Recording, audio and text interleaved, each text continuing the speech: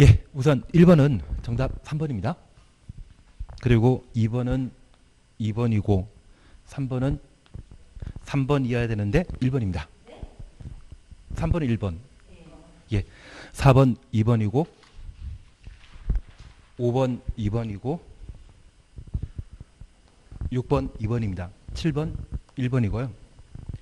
8번 2번이고 9번 1번이고 10번 5번입니다. 11번은 2번이고 12번은 3번이며 13번은 4번입니다. 그리고 14번 2번이고 15번은 2번입니다. 16번 5번이고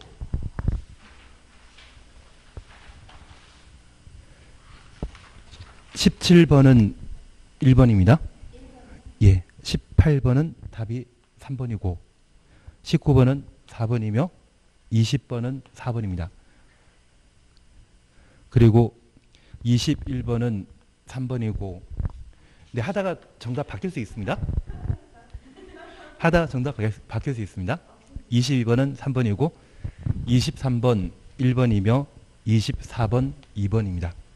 25번은 4번이고 26번은 3번이며 27번은 2번입니다.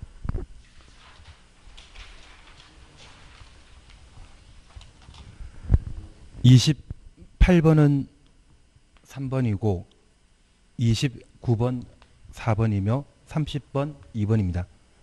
31번은 4번이고 32번은 4번이며 33번 5번입니다.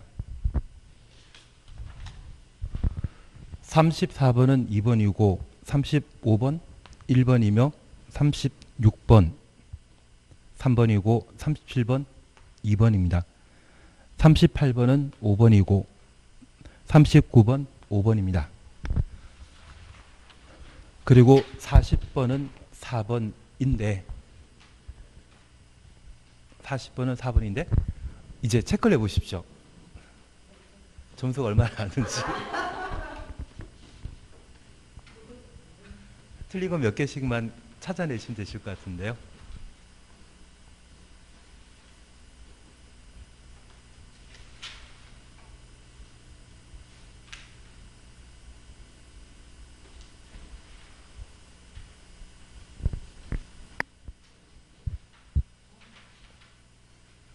몇 점 나오셨습니까? 62점 나오셨습니까? 예, 잘 나오셨고 몇 개 나오셨는데요?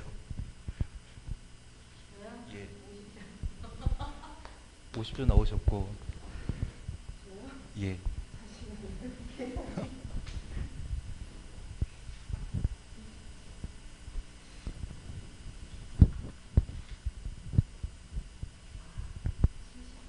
시점이시고요. 예, 12개 쓰시면 70점이십니다. 아마 시험 보시면 이 정도 점수 나오실 겁니다. 그리고 약간 더 하시면 더 점수 좋아지지 않으실까 싶습니다.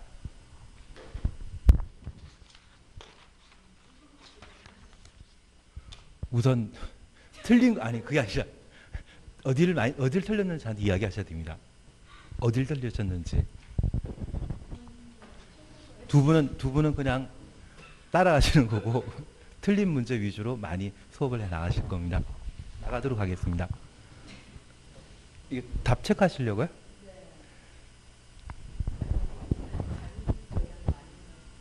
예, 알겠습니다.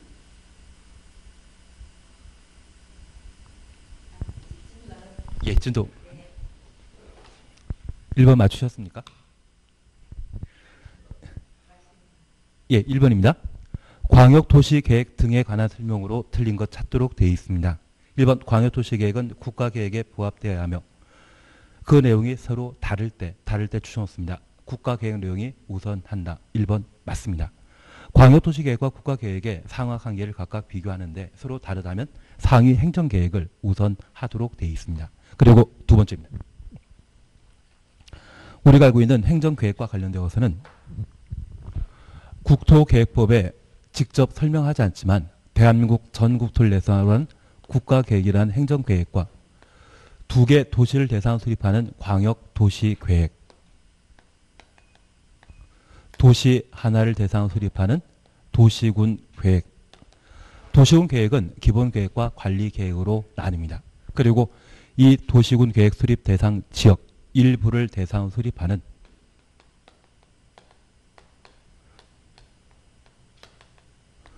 지구 단위 계획구를 대상으로 수립하는 지구 단위 계획을 각각 살펴보게 됩니다. 특별히 광역 도시 계, 아, 국가 계획은 국가 계획은 도시군 기본 계획의 내용과 도시군 관리 계획 내용을 함께 다루게 됩니다. 반면 광역 도시 계획과 도시군 기본 계획은 장기 발전 방향을 제시하는 행정 계획이라는 것 기억하시고 도시군 계획은 기본 계획과 관리 계획으로 나누는데 기본 계획은 장기 발전 방향을 제시하는 행정 계획인 반면 도시군 관리 계획은 집행 계획의 성격을 가지게 됩니다.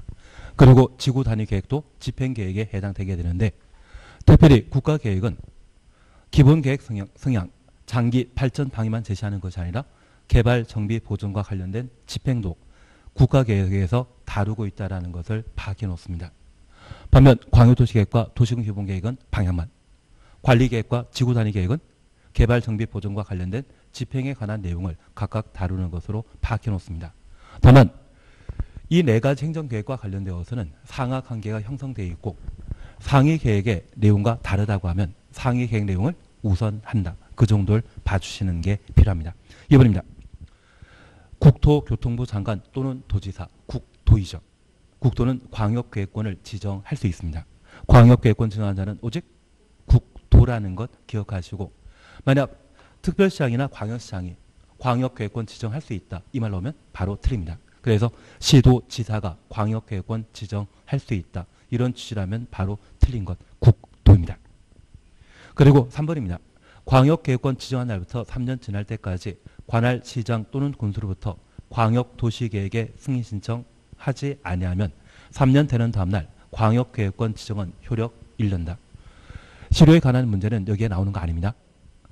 광역도시계획은 장기 발전 방향을 제시하는 행정계획으로 이 광역도시계획 수립하는 광역계획권도 방향 관련된 행정계획 아, 방향과 관련된 지역 지구 구역일 뿐 일반 국민에 대한 구속력이 없습니다. 그래서 여기 실효와 관련된 사항은 국토계획법에서는 총 네 군데에서 다루고 있다는 것을 다시 한번 확인해 주셔야 됩니다. 첫 번째가 시가 조정구역입니다.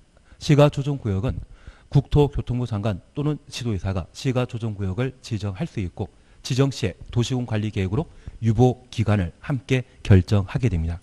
시가 유보 기간은 5년 이상 20년 범위 내 5년 이상 20년 범위 내 도시군 관리 계획으로 시가 조정 구역의 지정권자가 유보 기간을 함께 결정하고 저 시가 조정 구역은 유보 기간 끝나는 날 다음 날 효력 상실한다라는 것을 기억해 주시는 게 필요합니다. 그리고 두 번째 우리 보시는 게 도시군 계획 시설 사업입니다. 여기 도시군 계획 시설 사업과 관련되어서는 20년간 사업하지 않다면 20 되는 다음 날 효력 상실한다라는 것 기억해 주시고 두 번째 기억하실 것은 실시 계획 실효에 관한 최근 개정 사항입니다. 장기 미집행 도시군 계획 사업은 몇 년간 사업 안 했다? 10년간 사업하지 않고 10년 지나 실시 계획을 인가받거나 또는 실시 계획 인가권자가 인가권자가 국토교통부 장관 시도의사 대도시장입니다. 이들이 사업 시행자로서 실시 계획을 작성했다면 자기가 작성한 행정 계획에 대해 자기가 인가할 필요는 없거든요. 그래서 10년 지나 실시 계획이 작성되거나 인가되고 저 실시 계획 고시한 날부터 5년 이내 토지 수용과 관련된 재결 신청을 하지 아니하면 5년 되는 다음날 실시 계획은 효력 상실합니다. 특별히 도시군 계획설 부지 중에 3분의 2 이상의 소유권을 취득하거나 사용권을 확보한 경우에는 7년 이내 재결 신청하지 않으면 7년 되는 다음 날 도시군 계획설 아, 도시군 계획설 사업과 관련된 실시 계획은 효력 상실한다라는 것 기억하시고 사업 시행자가 도시군 계획설 부지 전부를 취득했다고 하면 소유했다고 하면 실효에 관한 문제가 따로 없다라는 것을 기억해 주시는 게 필요합니다. 그리고 세 번째 우리가 보시는 게 지구 단위 계획입니다. 구역 지정하면 3년 내 지구 단위 계획이 결정 고시 돼야 되고 주민이 입안 제한한 지구 단위 계획의 경우는 지구 단위 계획 결정 고시부터 5년 내 공사 착수해야 되며 착수하지 않다면 5년 되는 다음날 효력 상실한다라는 것 기억해 놓습니다. 그리고 마지막이 기반설 부담 구역입니다. 기반설 부담 구역이 지정되면 1년 내 기반 시설 설치 계획을 수립하여야 하고 수립하지 않으면 1년 되는 다음날 효력 상실합니다. 광역도시계획은 이처럼 구속력 있는 제도가 아니기 때문에 광역계획권 지난날부터 3년 내 광역 도시계획에 승인청 없다고 하면 광역 도시계획의 수립권자가 변경되는 것이지 효력 상실되는 것 아닙니다. 그래서 특별히 광역 도시계획과 관련되어 우리가 함께 봐주시는 것은 첫 번째 광역계획권 지정권자가 북도라는 것 기억하시는 것과 저 광역 도시계획을 수립하는 자는 국장이 지정한 광역 계획권의 경우에는 시도지사가 공동으로 광역 도시계획을 수립 하여야 하고 도지사가 지정한 광역계획권의 경우는 시장 군수가 공동 수립하여야 합니다. 만약 공동 수립과 관련된 문제가 발생하게 되면 상급관청에 조정 신청할 수 있습니다. 그리고 예외적인 광역도시계획의 수립권자로서 국도가 관여하는 경우가 있는데 첫 번째가 그러한 예외는 각각 세 가지 있다라는 것 기억하시면서 광역계획권 정하고 3년 내 광역도시계획 승인청 없다고 하면 첫 번째, 두 번째 국토가 광역도시계획을 수립할 수 있습니다. 그리고 두 번째 우리 봐주실 것은 요청이란 말을 기억해 주시는 게 필요합니다. 공동 수립한다라는 것 기억해 놓으시고 국가계획과 관계된 광역 도시계획이라면 국토교통부 장관이 수립할 수 있고 시장 군수가 협의 거쳐 요청한 때에는 도의사 단독으로 광역도시 계획을 수립할 수 있습니다. 특별히 이 세 가지 경우에 이 세 가지 경우에 도지사가 광역도시 계획 수립에 관여했을 때 장관 승인 받을 필요 없습니다. 그래서 만약 시장 군수가 협의 거쳐 요청하여 도지사가 단독으로 광역도시 계획을 수립하면 국토교통부 장관에게 승인 받아야 된다. 그런 취지 넣으면 바로 틀린 것으로 파악해 놓습니다. 그래서 광역도시계획과 관련되어서는 항상 개념 정의와 관련된 내용으로 구속력 없는 행정계획이라는 것 파악해 주시는 것과 광역계획권 정할 수 있는 자는 국토입니다. 광역도시계획을 수립하는 자는 원칙 지의사 시장 군수이지만 예외적으로 국토가 광역도시계획을 수립할 수 있다. 그 예외는 각각 세 가지 존재한다라는 것만 파악해 놓습니다. 4번 시장 또는 군수는 광역도시계획 수립하려면 도지사 승인 받아야 된다. 기본적인 사항입니다. 그리고 5번입니다. 시장 또는 군수는 광역계획 도시계획을 변경하려면 미리 공청회 열어야 된다. 공법에는 총 공청회가 다섯 번 나옵니다. 다만 우리 시험에 나오는 것은 딱 세 가지입니다.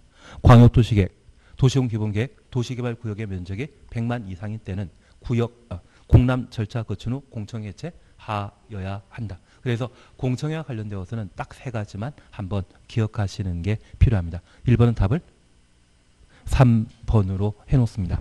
그래서 나는 광역계획권 지정한 자 누구인지 그리고 광역토시계획에 대한 예배적 수립권자 누구인지 파악하시는 게 필요합니다. 그리고 나중에 우리가 좀 이 정도를 해결하셨다고 하면 광역계획권 지정과 관련되어 국토교통부 장관이 광역계획권 지정하는 절차를 꼭 한번 추가해 놓습니다. 그래서 국장이 광역계획권 지정하고자 할 때 협의, 심의에 관한 절차를 거친다. 이 말로 오면 틀립니다.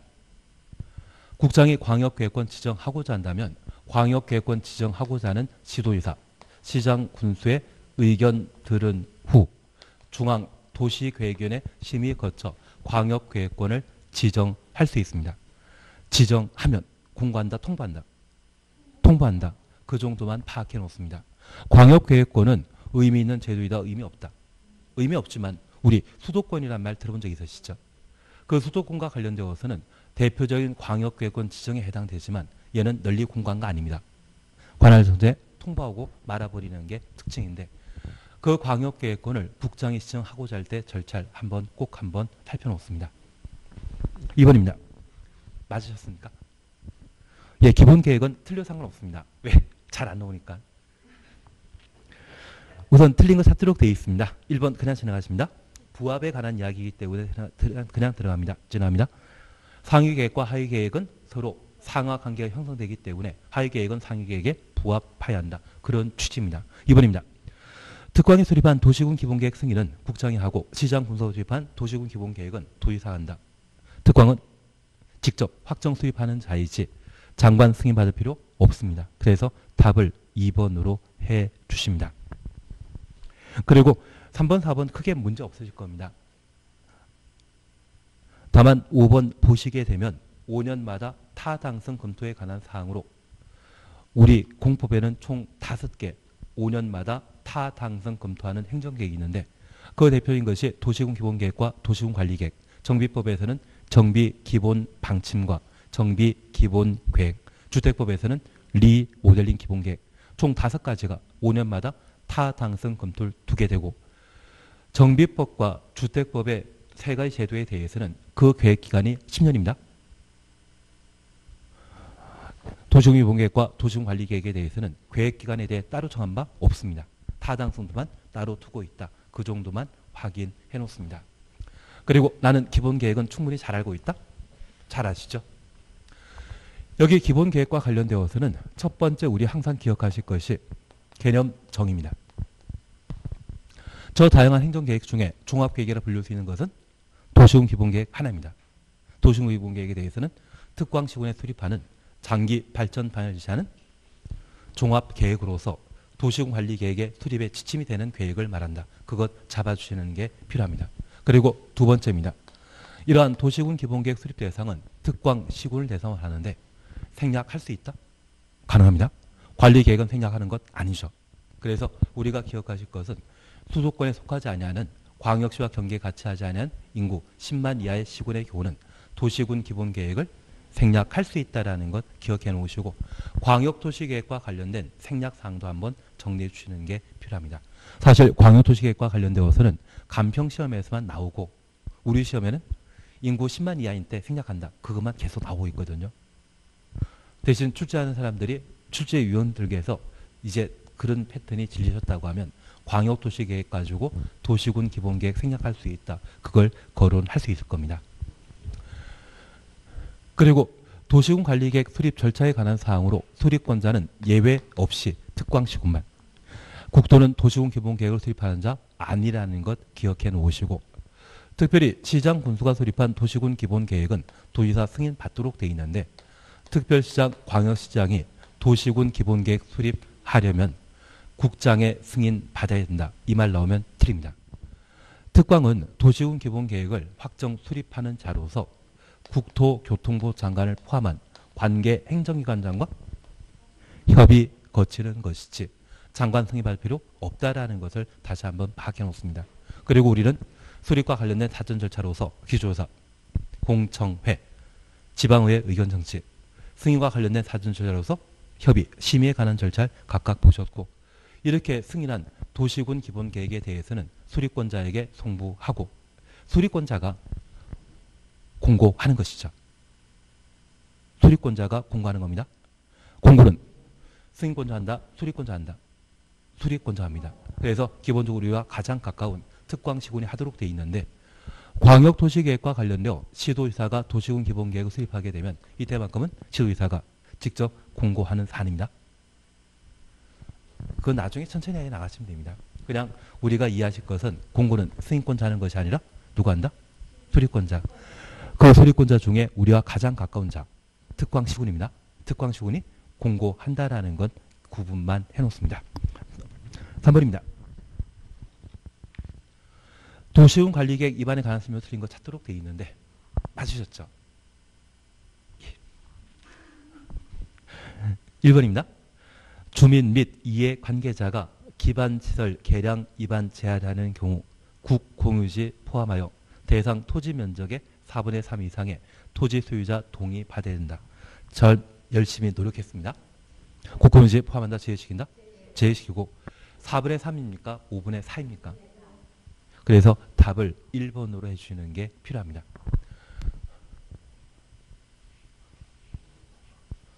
이제 관리 계획에 관한 사항을 함께 살펴보시는데 여기 도시군 관리 계획은 개발, 보전, 정비를 위한 집행 계획이라는 것 기억해 주시는 게 필요하고 개발, 정비, 집행은 어떤 방법을 한다?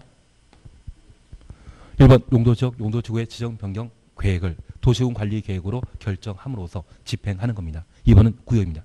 3번은 기반틀의 설치 정비 계량에 관한 계획을 도시군 관리 계획으로 결정하여 집행하는 것이고 4번은 개발 사업, 정비 사업, 5번은 지구 단위 계획, 6번은 입지 규제 제소 구역과 그 계획을 도시군 관리 계획으로 결정함으로써 집행하는 겁니다.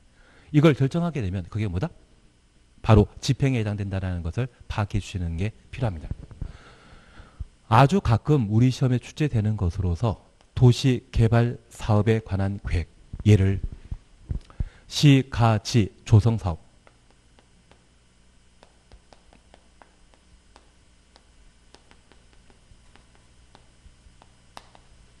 그리고 단지 조성 사업에 관한 계획을 도시군 관리 계획으로 결정할 수 있다. 이렇게 시험에 낼때 있습니다.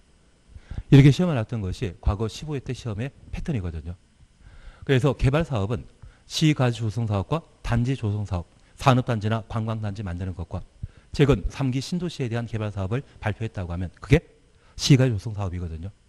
개발 사업이라 말 대신 이거 나와도 도시군 관리 계획을 결정할 수 있는 내용이 된다라는 것 기억하시고 정비 사업과 관련되어서는 이미 익히 아셨겠지만 주관계 사업과 재개발, 정비, 재건축 사업에 관한 계획을 도시군 관리 계획으로 결정할 수 있다. 이런 취지 나와도 옳은 것으로 파악해 주셔야 됩니다.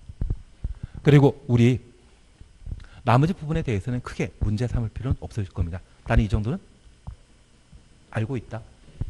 알고 있다. 그리고 이러한 도시군 관리 계획을 수립할 수 있는 대상은 특광 시군을 대상으로 수립한다라는 것 기억하시고 인접한 특광 시군 포함하여 도시군 관리 계획을 위반할 수 있다. 충분히 기억나시죠?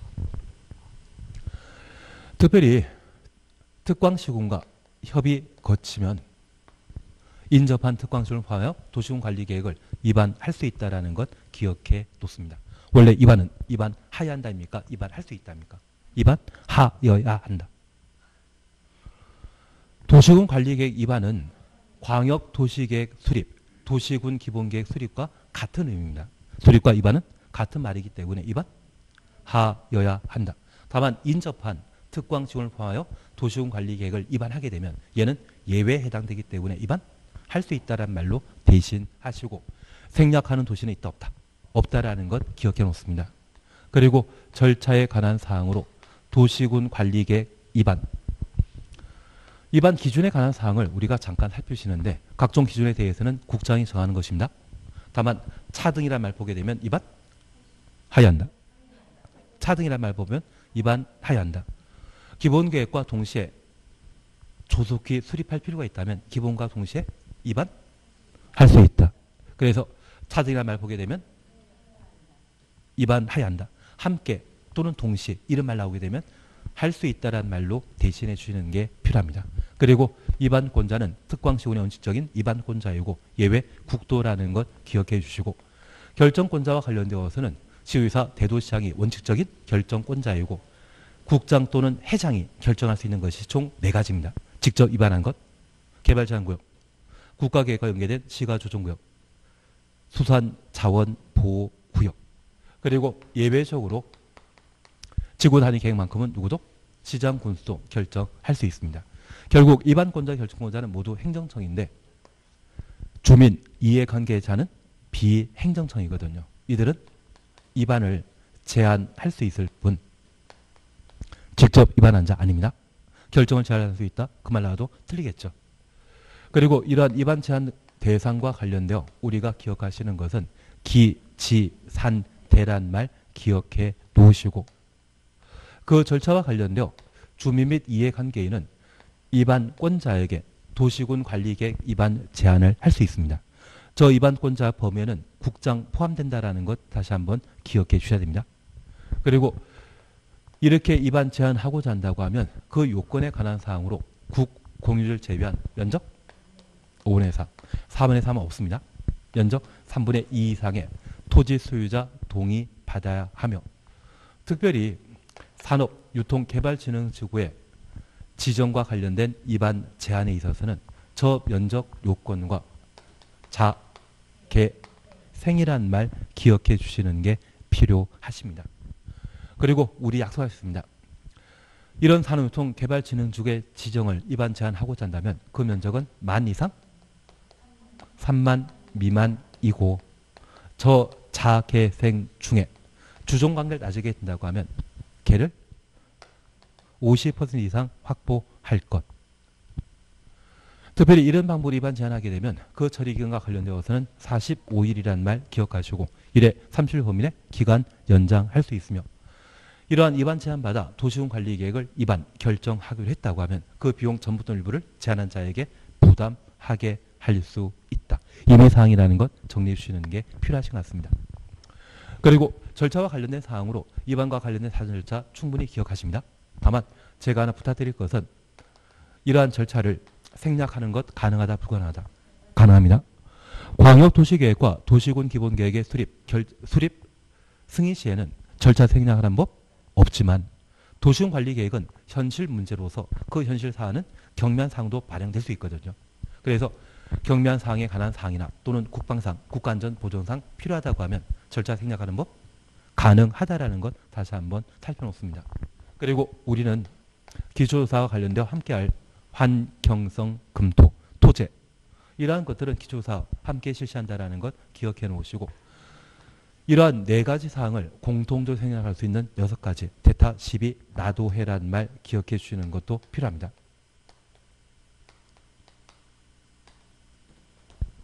그리고 토지 적성 평가와 관련되어 생략할 수 있는 것으로서 개발 사업이 확정되었다고 하면 적성 평가 생략할 수 있습니다. 도시화 사업이라든지 또는 지구 단위 계획 구역이나 도시군 계획설 부지의 도시군 관리 계획 위반 시에는 적성 평가할 필요 없다라는 것 다시 한번 파악해 주시는 게 필요합니다. 주상공해 도시군 관리 계획 위반하면 적성 평가 한다 안 한다? 안 한다. 그것 잡아 주시는 게 필요하십니다. 그리고 심의와 관련된 절차가 최근 개정되었습니다. 근데 그 심의를 정리하면 이거 복잡할 뿐이거든요. 그래서 심의 파트에 대해서는 생략하는데 그냥 생략하는 게 마음 편합니다. 그리고 이런 방법으로 도시군 관리 계획이 결정 그리고 고시 되게 되면 그 효과에 관한 문제로서 효력 발생에 관한 것으로 지형 도면 고시 한 날 효력 발생한다라는 것 기억해 주시는 게 필요합니다. 나는 그 정도는 잘 알고 있다. 지형 도면 작성은 이반권자, 고시는 누가 한다? 결정권자. 특별히 지구 단위 계획과 관련되어 시장 군수가 입안하여 결정 고시했다면 시장 군수가 직접 작성하고 고시하면 됩니다. 지구 단위 계획을 제외한 사안으로서 대도시장이 아닌 시장 군수는 지형 도면 작성하면 도의사 승인 받아야 되고 승인한 도의사가 이를 고시하도록 되어 있습니다. 기득권 보호 기억나시죠? 도시군 관리계 결정과 한적 없이 현재 공사 중인 것 계속 공사할 수 있다라는 것 기억해 놓으시고 시가 조정구역과 수산자원보호구역의 경우는 3월 내 신고하고 공사 계속한다라는 것 확인해 놓습니다. 5년마다 타당성 금토. 그래서 효과 관련되어서는 효력에 관한 문제입니다. 그리고 기득권 보호에 관한 문제. 5년마다 타당성 금토. 이러한 사항들을 각각 정해, 정리해 주시는 게 관리 계획과 관련되어 출제되는 두 문제가 되게 됩니다. 잘 하시는 걸로 알고 있겠습니다. 그래서 우리 3번에 산업유통개발진흥지구 지정 제한할 수 있는 대상 지역의 면적은 만 이상 3만 미만이라는 말 기억하시고 나는 자개생이란 말 잘 기억하고 있다. 그리고 4번 함께란 말 보게 되면 이반 할수 있다. 차등이란 말 보게 되면 이반 하여야 한다. 4번입니다. 도시관리계획 등에 관한 설명으로 옳은 것 찾도록 되어 있습니다. 1번 지가조정구역 지정에 관한 도시군 관리계 결정 당시 승인받은 사업이나 공사에 이미 착수한 자는 신고 없이 사업 공사 계속할 수 있다.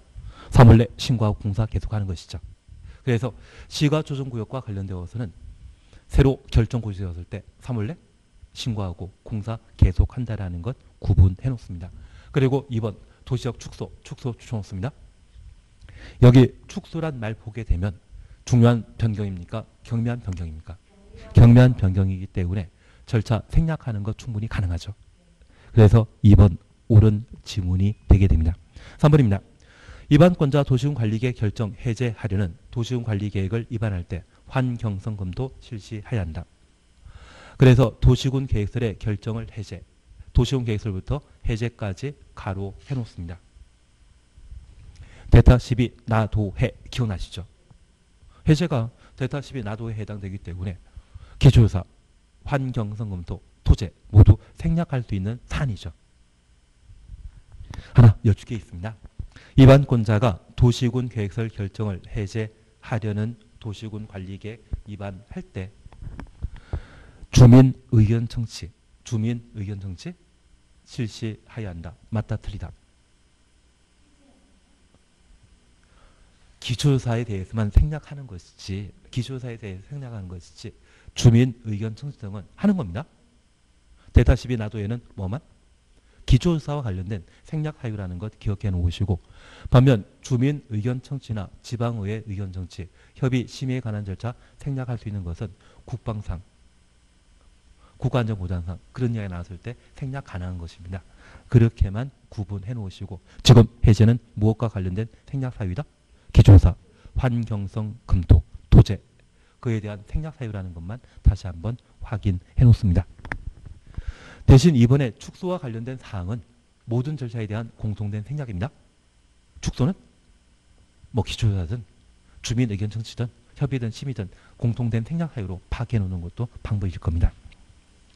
5번 타, 아, 4번은 타당성 금토에 관한 사항으로 타당성 금토는 도시군 관리계획 위반하는 자가 타당성 금토를 합니다. 국장이 하는 것이 아니라 특별시장, 광역시장, 시장, 군수가 해야 되죠. 그리고 5번 도시군 관리계 효력 발생은 지형되면 고시 한 날 효력 발생하는 것이지 다음 날 아니죠.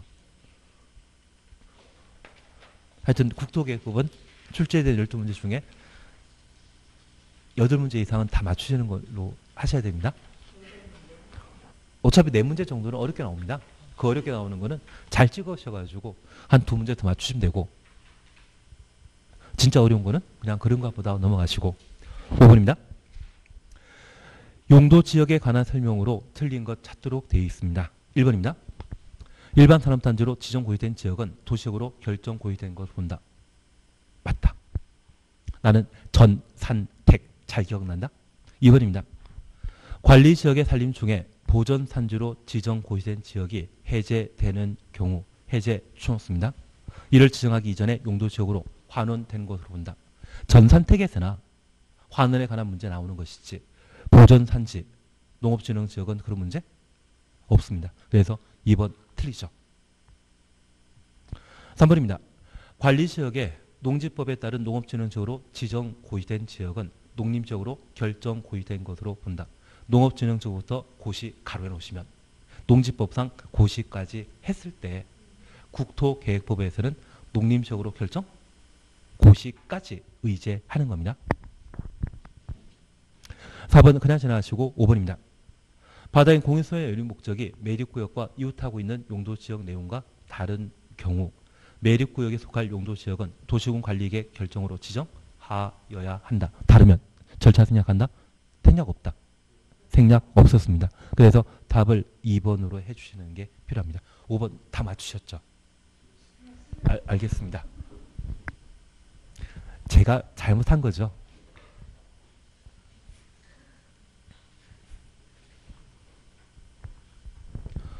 우리가 용도 지역, 용도 지구, 용도 구역에 대해서는 늘상 정리하는 방법은 대상과 절차입니다.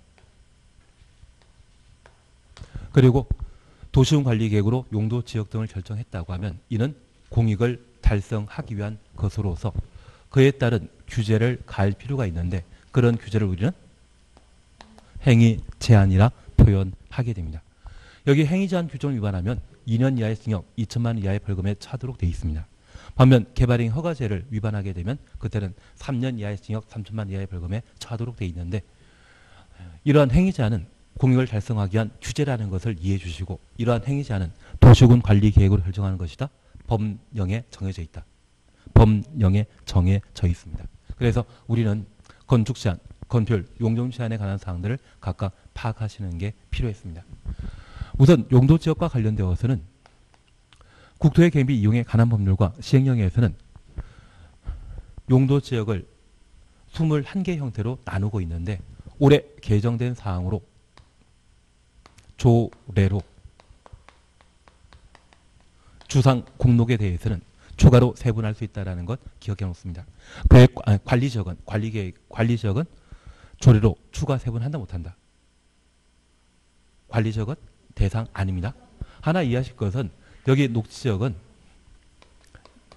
자생 보였습니다. 자연 녹지 지역, 생산 녹지 지역, 보존 녹지 지역인데 조례로 일반 녹지 지역이라는 것을 추가할 수 있습니다.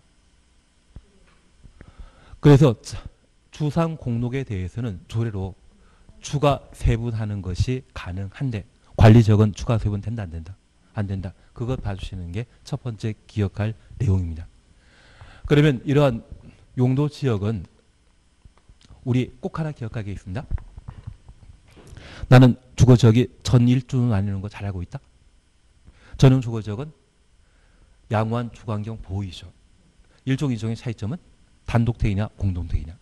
그리고 일반 주거 지역의 경우는 편리한 주거환 교성입니다.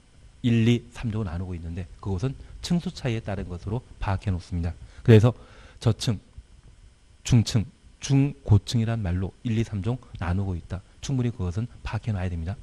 그리고 상업지역과 관련되어서는 중일 유근이죠. 지정 목적 정도는 파악해 놓으시고 공업지역과 관련되어 전일준인데 특별히 경공업이란 말 보게 되면 준공업지역 환경 제하지 않는 공업 배치란 말 보게 되면 일반 공업지역 중압 또는 공예공장 일반 보게 되면 전용 공업지역 그 정도는 각각 파악해 주시는 게 필요합니다. 그래서 지정 대상 어디를 어떤 용도로 지정할 수 있는지 대상에 관한 구분을 해놓으시고 이렇게 세분되어 있는 것들을 조례로 주상공의 경우는 추가로 세분할 수 있다. 그 정도 파악해 주시는 게 필요합니다.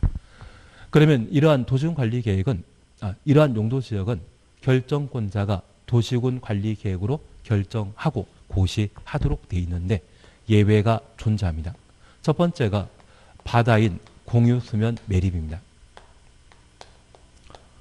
바다인 공유 수면 매립과 관련되어 매립하는 구역과 이웃한 용도 지역의 목적이 같다면 도시군 관리 계획 절차 중에 입안 결정 없이 매립구역에 대한 준공 인가일날 이웃한 용도 지역으로 지정된 것으로 본다. 그래서 공유수면 매립법상 매립구역에 대한 준공 인가 받았다고 하면 그날 뭐 한 것으로 본다? 지정된 것으로 본다. 그것 파악하시는 게 필요하십니다. 고신해야 되죠. 고시 누구 한다? 특방시군이 따로 고시한다라는 걸 파악해 주시는 게 필요했었습니다. 그리고 예외와 관련된 사항으로 우리 전산택이라는 말을 함께 보신 적이 있는데 전산택에 대해서는 너무나 잘 알고 있으시죠. 지정고시 되면 이웃한 용도 지역으로 지정 고시된 것으로 본다. 어디로? 도시적입니다. 그리고 항만구역, 어항구역이라는 말 기억하시면서 공유 수면이 도시적으로 결정 고시된 것으로 의제한다라는 것 파악해 놓습니다. 그리고 관리 지역에 농지법에 의한 농업진흥지역, 산지관리법에 의한 보전 산지가 지정 고시되게 되면 첫 번째는 농림지역, 두 번째는 농림지역 또는 자연환경보전지역으로 결정 고시된 것으로 본다.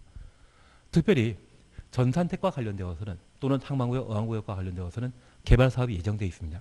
그 개발 사업이 완료되어 해제되게 되면 도시로 그냥 남아 있지만 미 완료된 상태에서 해제되면 종전 용도적으로 환원되게 됩니다. 그래서 환원에 관한 문제는 항상 언제였으면 전산택 개발 사업 완료된 때입니까? 미완성된 때입니까? 미완성된 때 그걸 세밀하게 잘 구분하시는 게 필요하십니다. 그래서 이 관리 지역에 농업진흥적 보존산지가 지정 고시될 때는 환원에 관한 문제 있다 없다. 환원에 관한 문제 발생하지 않는다라는 것만 명확하게 파악해 놓습니다. 아마 올해 시험에 내게 된다면 여기 조례로 주상 공록을 세분할 수 있다고 하면 조례로 세분된 주상 공록에 대한 결정은 누가 한다? 국장 빠진 시의사 대도시장이 하는 겁니다. 그걸 마지막 예외 절차로서 정리해 주시는 게 필요하십니다. 그리고 건축 제한 난 잘한다. 최소한 여섯 가지 계속 파악해서 문제 풀어주시는 게 필요합니다. 아파트 건축할 수 없는 곳, 일종 근린 생활설은 모든 용도 지역에 건축할 수 있고 이종 근린 생활설이라면 전용 주거 지역에는 절대 건축하지 못하며 일반 주거 지역의 경우는 법령상 건축할 수 없지만 조례는 가능하다. 그러한 것들을 한번 정리해 주시는 게 필요하십니다. 그리고 건폐 용적률 기본적인 것 하실 수 있죠. 모르면 책상에 적어놓고 하자. 6번 문제 맞추셨습니까? 틀리셨습니까? 답, 답 2번이죠. 찍어서라도 맞추시면 됩니다. 그래서 용적률 높은 지역에서 낮은 지역으로 나열한 거 찾도록 되어 있는데 전용 공업 지역은 300 그리고 이종 일반 주거 지역은 250 생산 관리 지역은 80 생산 녹지 지역은 100 그래서 기역, 니은, 리을, 디귿 조합되어 있는 2번을 답으로 해주시는 겁니다. 나는 이 정도는 잘할 수 있다? 시건 중복기다. 찍어서 맞추시면 됩니다. 예. 대신 이 건폐율, 용적률과 관련되어 조례로 결정하는 경우가 있습니다. 그 조례와 관련되어서는 보통 한 20년에 한 번 시험 나옵니다. 그래서 2년 전쯤 건폐율과 관련되어 조례로 결정할 수 있는 사항을 기출문제에 다뤘는데 그게 8회 때인가 9회 때 한 번 나온 적이 있거든요. 그리고 29회 때 한 번 나왔습니다.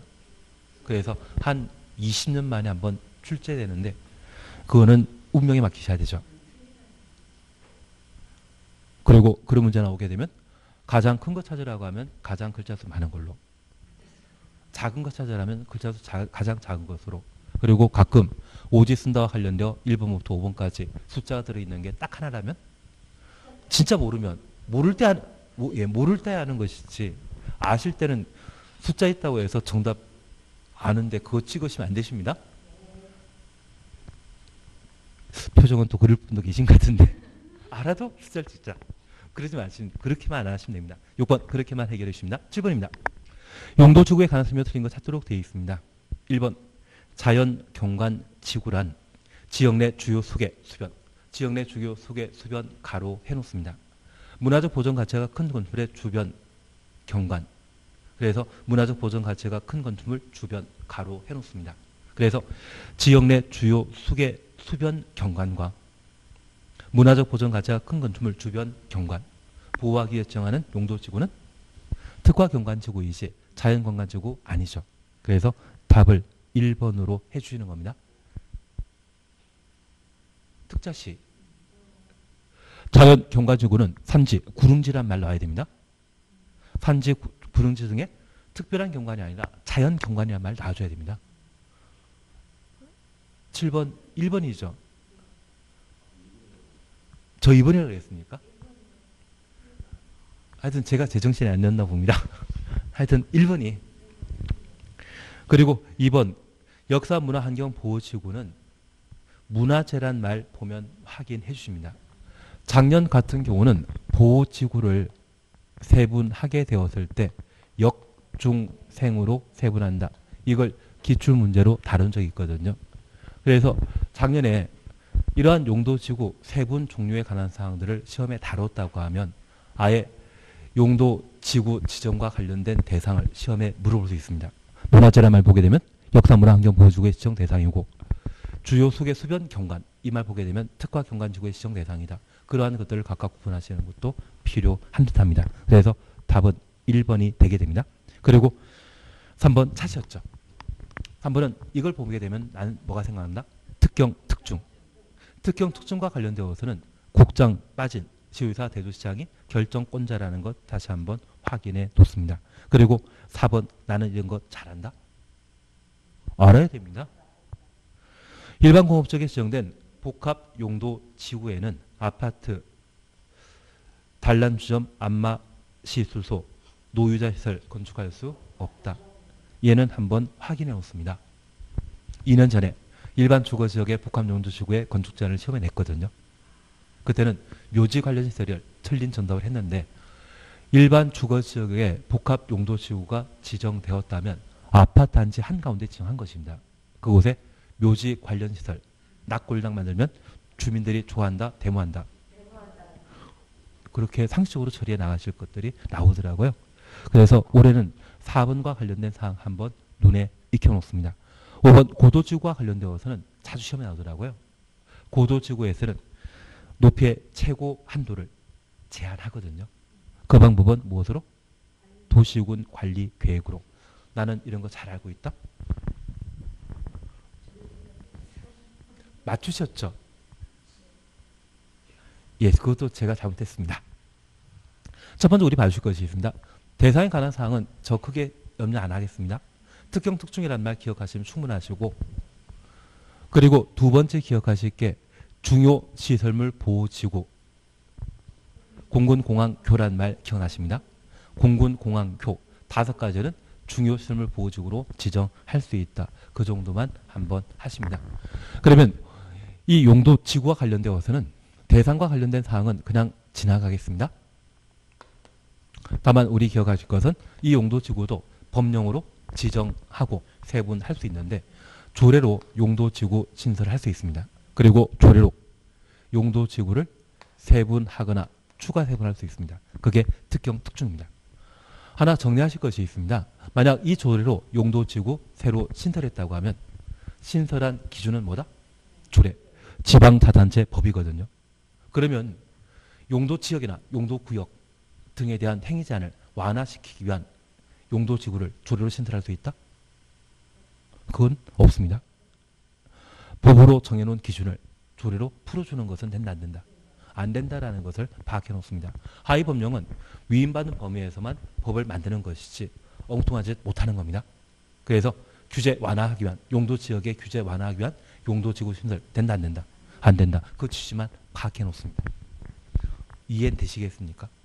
중앙에서 만든 중앙에서 만든 법인 용도 지역이나 용도 지구와 관련된 행위 제한을 풀어주기 위한 완화하기 위한 지방에서 만든 조례로 용도 지구 새로 신설하는 것은 된다 안 된다 안 된다 그렇게만 구분해 놓습니다.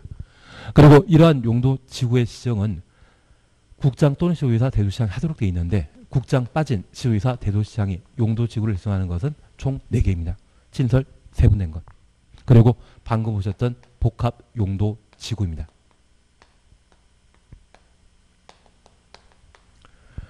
그리고 최근 10년 사이에 2회 이상의 천재지변으로 인명피해 발생한 경우에는 또는 연한 침실한 말 보게 되면 방제 지구의 지정 변경을 도시군관리 결정 하여야 한다. 기억나십니다. 그 중에 복합용도지구와 관련되어 우리 함께 봐주실 것이 있습니다. 여기 복합용도지구 지정과 관련된 기준에 그 대상이 되는 것은 1, 1개였습니다. 일반 주거지역과 일반 공업지역, 계획관리지역이 복합용도지구 지정할 수 있는 대상 용도지역이라는 것 기억해 놓으시고 이러한 곳에 시의사 대도시장이 복합용도지구 지정하고자 한다면 대상 용도지역 전체 면적이 얼마? 3분의 1까지만 3분의 1까지만 복합용도지구 지정할 수 있고 그 지정 목적에는 우리 행위 제한은 건축 제한, 건폐율 용적률 제한이지 않습니까? 무엇을 풀어준다? 건축 제한만 완화시켜주는 것이죠. 건폐율 용적률 완화한다 안 한다?